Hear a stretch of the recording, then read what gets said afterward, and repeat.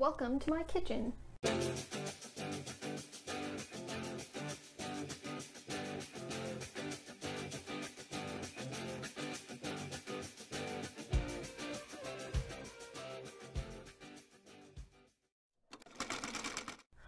What's up guys? Welcome to my channel. If you've been here before, welcome back.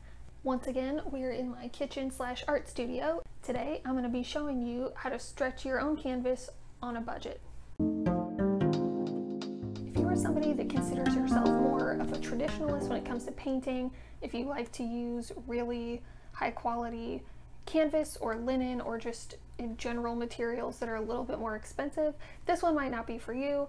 If you're an artist trying to stretch your own canvases on a budget, or if you're a student trying to take painting classes, this is going to be a tutorial for you that can hopefully help you save a few dollars along the way. So if stretched a canvas before, let's start with some of the basics. A canvas, when you buy it in a store, most craft stores, you can usually get an 18 by 24 inch canvas for about around $10. So your canvas is made up of a frame and the actual material itself that's stretched over the frame. Now store-bought canvases, they're called that because the material stretched on them is canvas. That is what this material is.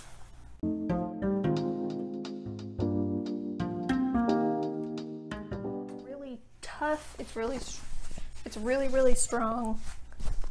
I'm not going to try to rip it just because it can be a little bit more expensive, um, but that's traditionally what canvas is stretched on.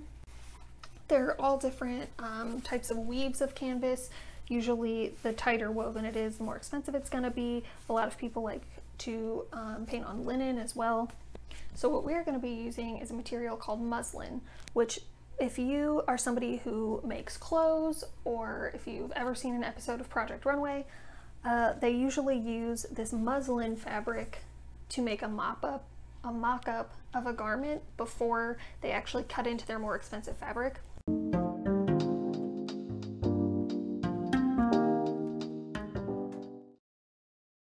Can already see the light coming through that. It is a lot thinner than canvas. It is, it's not, it's lighter, it's not as heavyweight, it's definitely not as tightly woven it's not going to be as strong. You can't pull it quite as tight, but it really helps out a lot as far as cutting costs. I think I've actually been stretching canvas with muslin for years. I think it works pretty well. It works well for my purposes.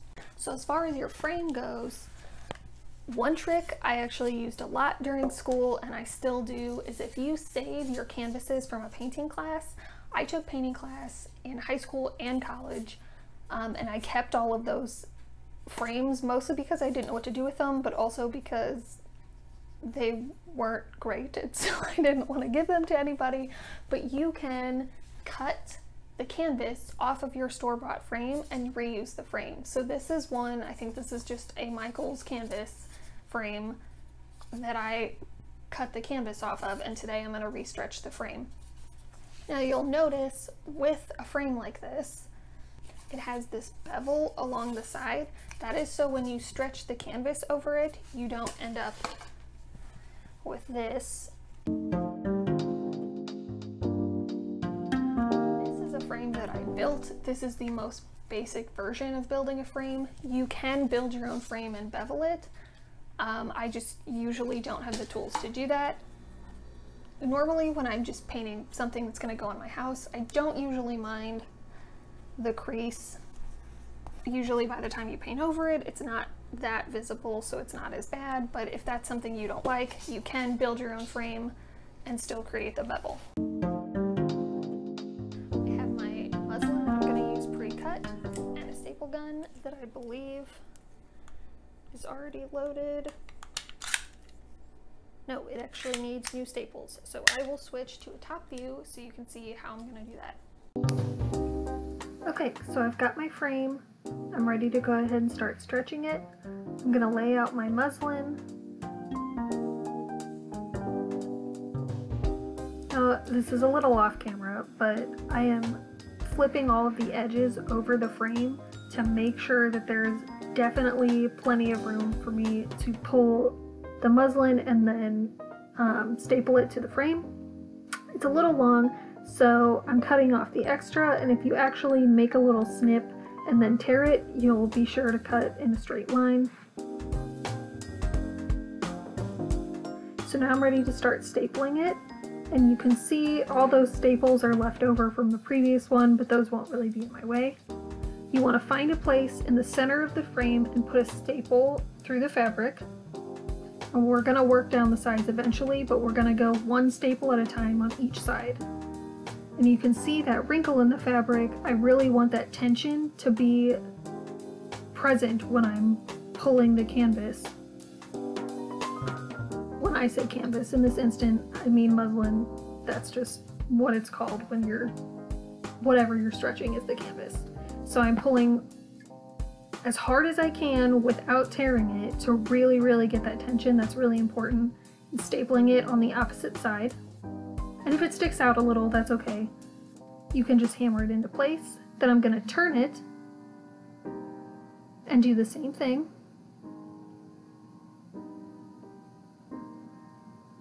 Then flip it to the opposite side pull it really taut again, and then place another staple in the middle.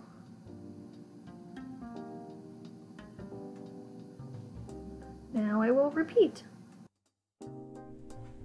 So I've been having trouble with a couple of my clips, um, including the time lapse where I showed you how to staple this. So basically, I believe you saw me start in the center of each side putting one staple and then you rotate and you always want to stretch to the other side to create that tension.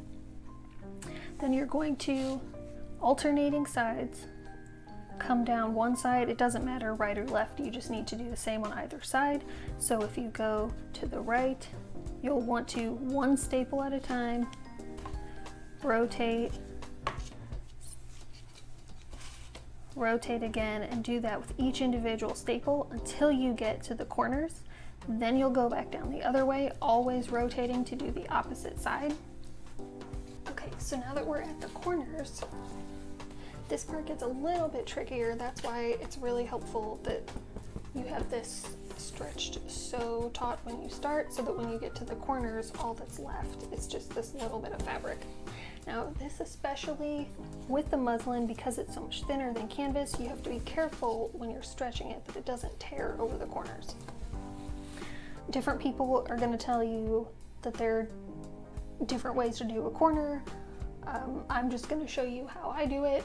Uh, basically the principle is to have this, the fabric on the corners not have it all like bunched up over here. That's basically the idea. However you want to achieve that is up to you. So you'll pull it tight.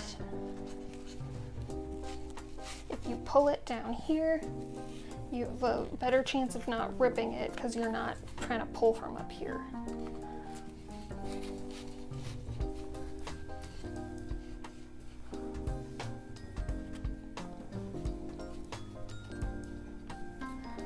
Usually do a double fold with my corners just because I think it looks pretty.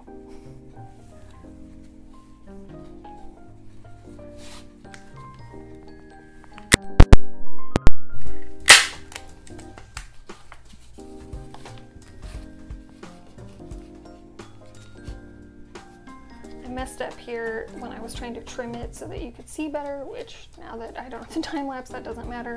Um, so this one might be a little weird because it got cut a little short here.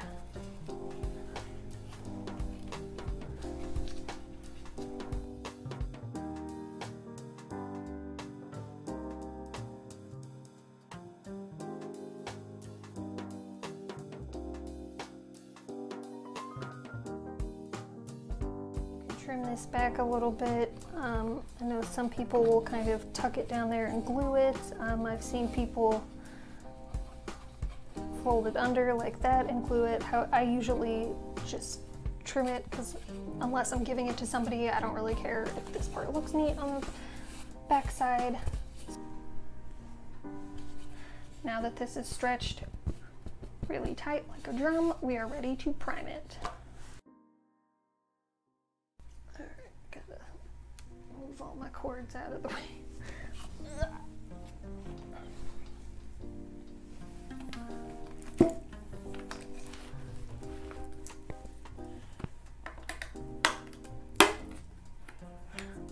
So I don't have a stir stick, so I already did a fun little dance to shake this up, which I will spare you from seeing.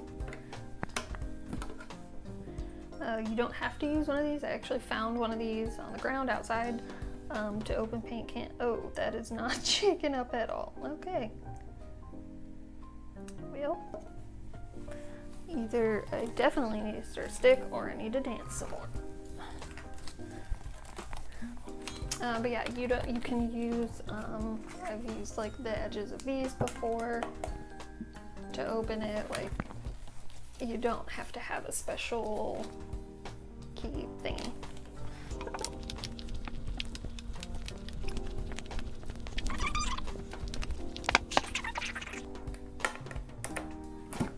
So this paint, uh, it is not white, but frankly, unless you want to use your gesso as your background, the color of it doesn't really matter. That's a little better. We can kind of stir that around with the brush.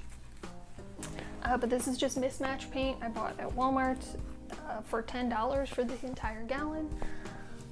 You can obviously get smaller cans if you're only trying to do one canvas, but this is really cheap for a can of paint and that's a really good investment considering both my partner and I paint. This is a really great deal for both of us to be able to prime canvases with.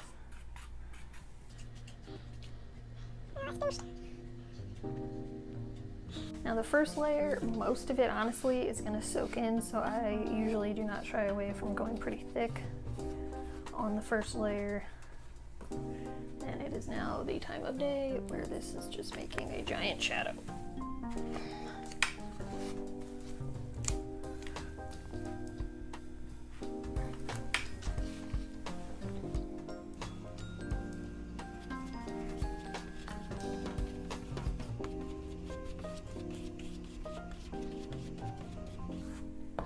Once I get the whole thing covered,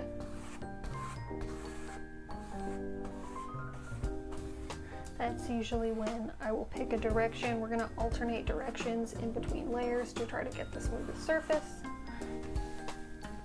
I also paint the sides. I usually only do a couple coats on the sides just because it's not as important. A store-bought canvas, I think some of them I have had students show me that they like on the advertisement they like brag about having three coats of gesso on them. Uh, three is still not very many, especially in store-bought standards when it's not very thick. Uh, store-bought canvas is not going to be very smooth. You can sand it down.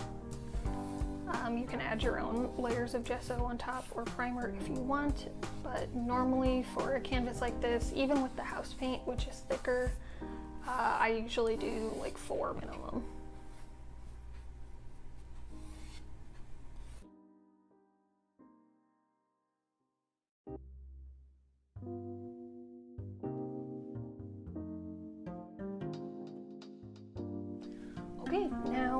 That dry for about an hour. So I am going to rinse this out some, but also wrap it up in foil so that I don't have to completely deep clean it in between layers just to get it messy again, but that way it won't dry out. I'm going to put this back on the can so it won't spill if it gets knocked over, and I'll be back for this in about an hour.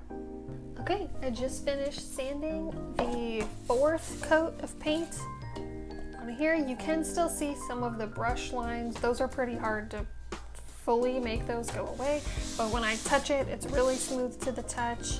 Um, it does loosen up a little as time goes on and as you put the paint coats on. That's why it is so important to stretch it really tight from the start. Um, you can, as you are stretching it, spray water on the back to help smooth that out, but this is pretty good. It's not bad.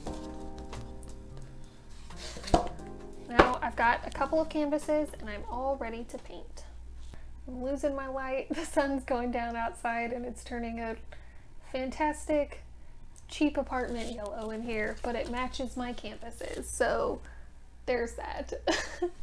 um, well, I hope that you found some of this information helpful. This is a pretty basic canvas stretching demo. Um, it's not super complicated, although you can, like anything else, um, kind of geek out over it and go for nicer quality materials or get really fancy with your bevels on your stretcher bars.